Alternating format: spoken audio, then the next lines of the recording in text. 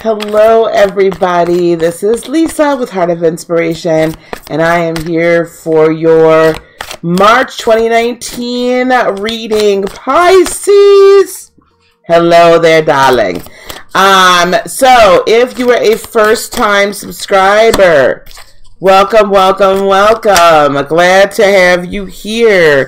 Please consider liking, subscribing, and sharing if you hear something that you like. Um, return frequent flyers. Strap in, honey. We're going on another ride. Welcome aboard, darlings. Um, so, guys, uh, this is for Pisces, okay? Um, this is for Sun, Moon, and Rising for March 2019. If you do not, if this does not resonate with you, please look at your uh, moon and or rising sign as I put them up um, to see if there's a little bit more clarification to be had. Alright guys, so I've almost laid your Star Child Tarot cards here. This is going to be a general reading, not necessarily any particular topic. So let's get into some things, okay? So I am using the Star Child Tarot deck on the bottom of the deck so you can see. Oh, I forget. I've got card cam down here. Card cam. Okay, card cam. The Hierophant. Um, that's Taurus energy uh, and Akashic records as well. And also on the bottom of the deck, we do have the Four Swords. And I have the Three of Cups as well. So I'm going to tell you what I'm feeling about this bottom of the deck energy here. Um, this is a trying time for you guys. Uh, this is a time of examination of all of the things that you've ever believed about yourself or anybody else. We have a lot of like very uh, interesting energies that are coming into play during this month of March Pisces. We have Mercury retrograde starting on the 5th, going through the 28th, I believe. If I'm wrong, don't shoot me. Um, but basically for the most for the majority of the month, we have a new moon coming in as well. I believe on the fifth. We have full moon. Um, the last of the three, the trilogy of the full moons. I think this is the. I mean, uh,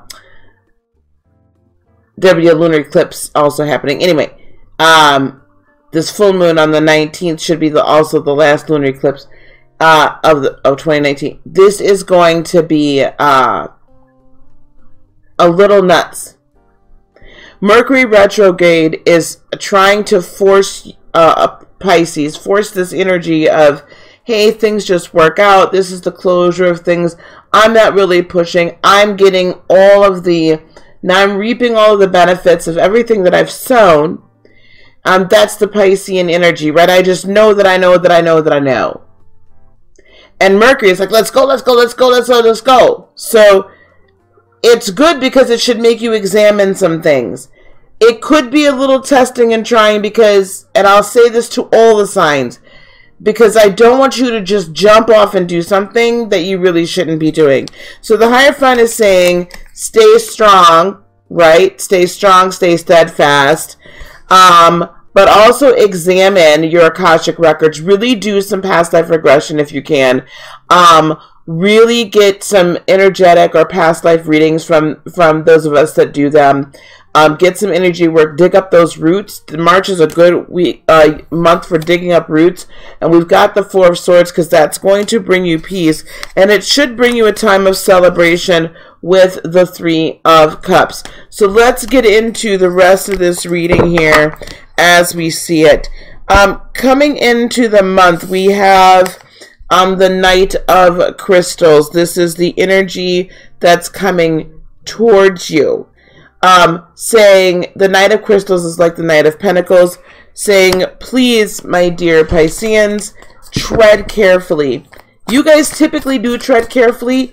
Do not let the Mercury retrograde energy force your hand to move faster, make a quicker decision, what have you then you feel deep down in your gut that you want to make. Um, if you're not feeling it, you're not feeling it. Oh, forget card cam. Star seed comes out as a clarifier on that. Um, you're feeling much more. I think those that are awakened, going through their awakening, going through their ascension process, Pisceans, you're not feeling like you belong. Yeah? You're not feeling like you belong in this world, around this world, by this world. You're just not feeling like you belong.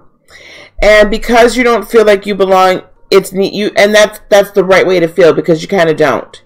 Right? You're kind of a soul from a different generation, a different time, a different era.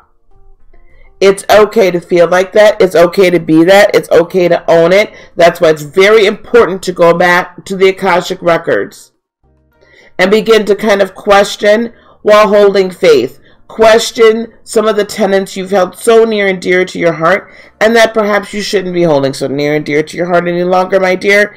And then let go of them and build up new faith. Okay, this is also a great time for manifestation as well with the star seed. Everything card, everything is possible.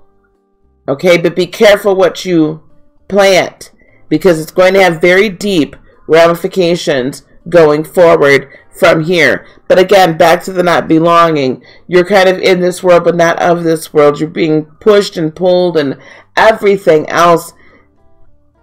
It's how you're supposed to feel. It's okay. Just tread carefully. The energy you're bringing in is the Nine of Swords. Pisceans, you've been up late at night. You've been up worrying. You don't understand what's happening here. Things have been moving far and away much faster than you wanted them to with the oppression card, which in this deck is the devil card. You've been releasing a lot of toxicity or there's toxicity you're becoming aware of, perhaps even your own behavior that you're like, I've really like screwed up things in certain ways and you're really ready to release it with the two of crystals you it's like you've been balancing the light and the dark side of yourselves you've been balancing this trip this journey through the dark night of the soul almost as some deep seated, deep rooted ideas about yourself and others are being um, basically thrown in the light and made and you're being forced to examine them. Things that you felt so so for sure and certain about holy cats not so much anymore right? And you're like this has really not been good for me. This has really not been good for me and I gotta really look at things and say maybe I need to switch some stuff up, but I don't really like change. That higher Hierophant energy still comes in. I don't really like change.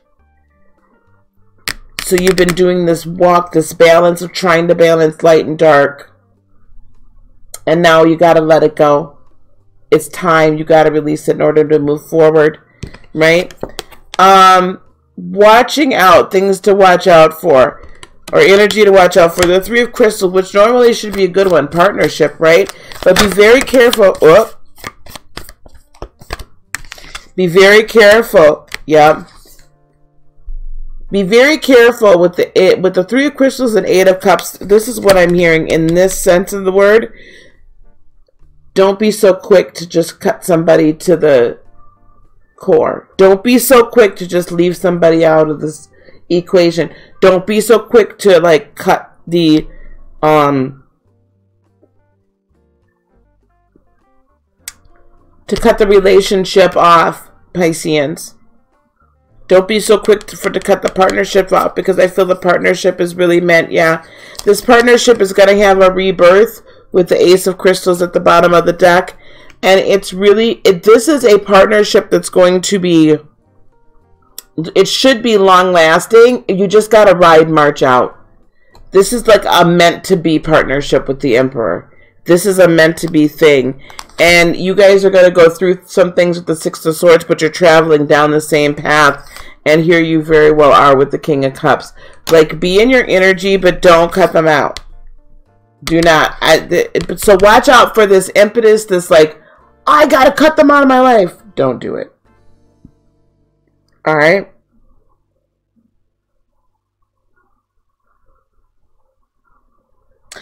Next, we have the Three of Swords.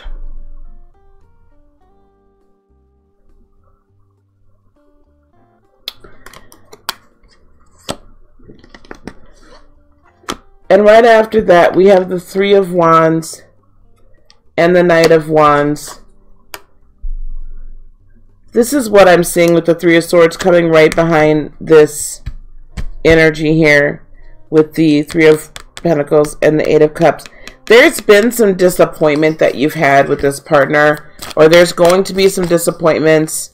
This is really how you're going to be feeling. I get it. Um, this is going to be some self-disappointment, disappointment in them. You've put a lot of hard work into this partnership.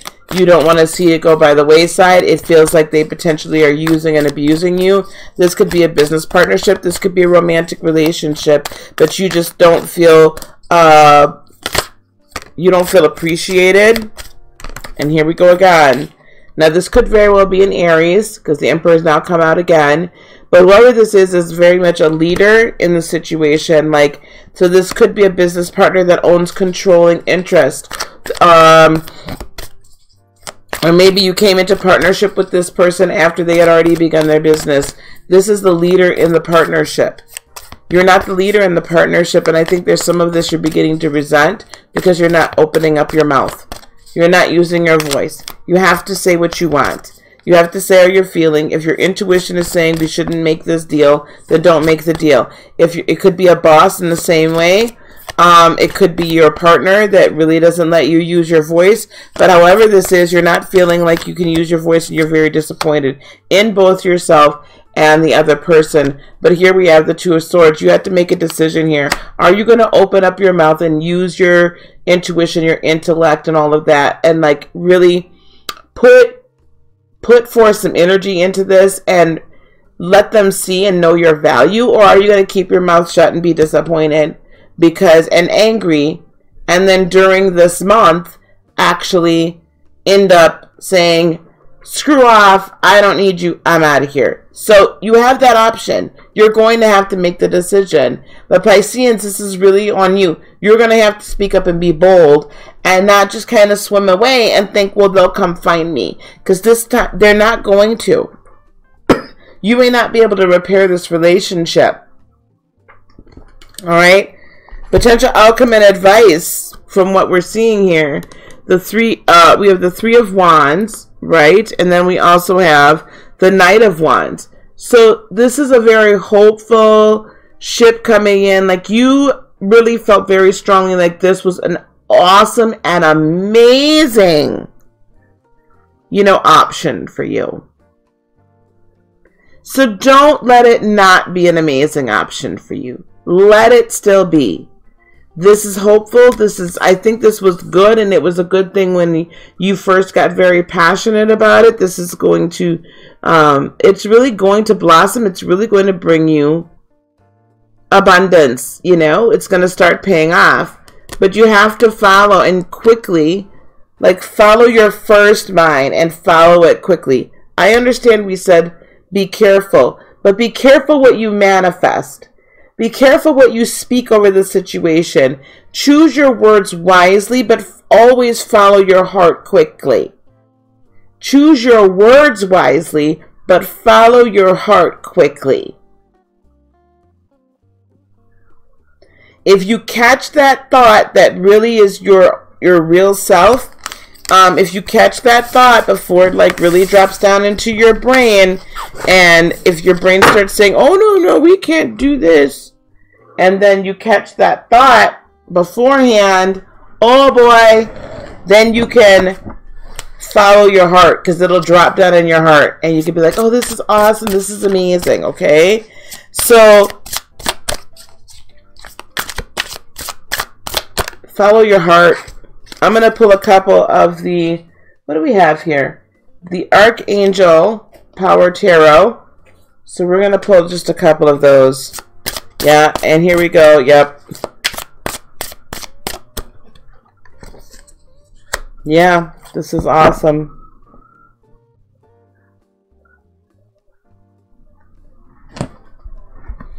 So we have the Knight of Gabriel which is like the Knight of Wands. We just had this. Confident, enthusiastic, courageous, and charismatic. It's time to take action, Pisceans. Great passion for a cause. And hold on to that. Instinctively knowing just what to do. Your instinct is going to kick in in a high gear and you're going to know what to do. Don't speak first. Feel and let your let your instinct speak for you. And then we have the 10 of Michael, which I believe is the 10 of swords. A situation has ended and you are finally free. New opportunities for happiness will now follow. Put the past behind you. So let those past things go. Dig into your Akashic records. If you need some help with that, you can work with me. My information is down below. You can work with another energy worker if you wish. Um, but get back into that past life. Get back into that um, those those residual energies that are holding on from generations and let's pluck those out the negative ones so you can go forward and go free okay also guys please do not forget um, check out my website heartofinspiration.net and there's a link down below to be able to register for the conference propel into purpose we're going to talk about a lot of these things get you reiki attuned or you can go through our holistic healing course um, we're going to talk about self healing techniques, energy healing techniques, and others. Aura triage. Oh my gosh. So, very much starting your business, all that kind of great stuff. So, feel free to reach to check that out and, um, you know, email me as well. All my information is down below. So, I would love to see you April 12th through the 14th right here in Madison, Wisconsin. All right, guys, until next time, Pisceans, have a wonderful birthday month. Peace, love, blessings, and joy be unto you today, tomorrow, and for all eternity. I love you guys. Namaste. Bye bye.